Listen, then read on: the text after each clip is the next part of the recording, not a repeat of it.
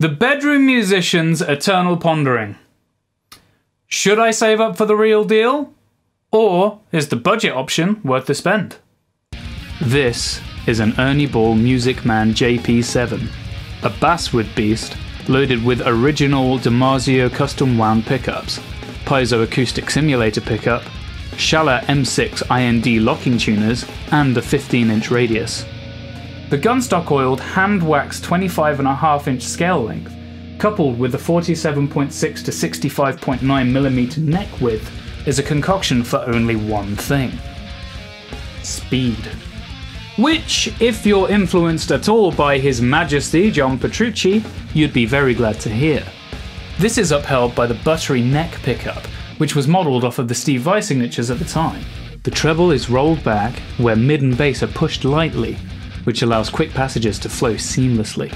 That's not to outshine the bridge though, where you'll find tight lows and bright harmonics. The medium output of this pickup allows loads of headroom so that you can get clarity in chords even at high gain. And just look at that paint job. Music Man's finishing is consistently stunning. Enter Exhibit B. The Sterling by Music Man JP157.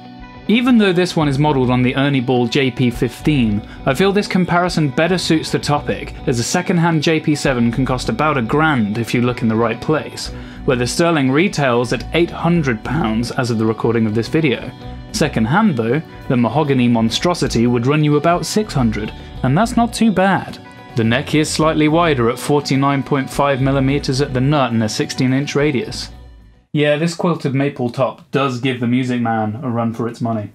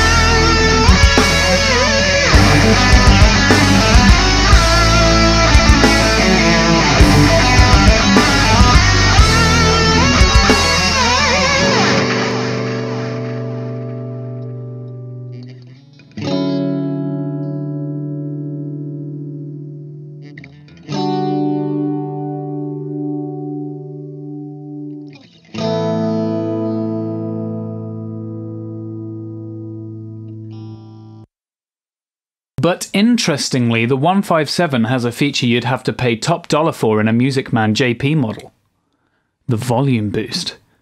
A feature introduced first in the JP13 series for Dream Theater's self titled run. I'm playing on stage with my JP7 and have become excited. As a result of this, I am attempting to woo a lady in the audience away from my pedal board. The solo's coming up, and I slide into it. No one can hear me. She runs off with the bass playing. Now with the 157, I can continue to seduce the lady, play the solo, and still get rejected. I didn't choose the prog lifestyle. I actually used to own the old JP100 Sterling model, and honestly, the improvements since then are staggering. My main issue was in the bridge. Although Sterling Modern Trem has a little rougher action than the Ernie Ball Piezo bridge, its earlier incarnations featured sharp saddles, which would cause you to run through strings like hot meals. Every time I took it on stage, the overwhelming fear of string breakage caused me to take off the arm completely and eventually sell it. Fear not though, because the 157 has rounded saddles, so I can noodle in confidence. In all honesty, credit where it's due. Sterling have really stepped up the game and created an affordable, desirable, ultra playable instrument. I absolutely will replace the pickups in this one, but the recipe is just right to me. A mahogany bodied, slim necked shred machine. If you want that Petrucci experience, this is close. Is it worth saving that extra bit for the Ernie ball though? Absolutely.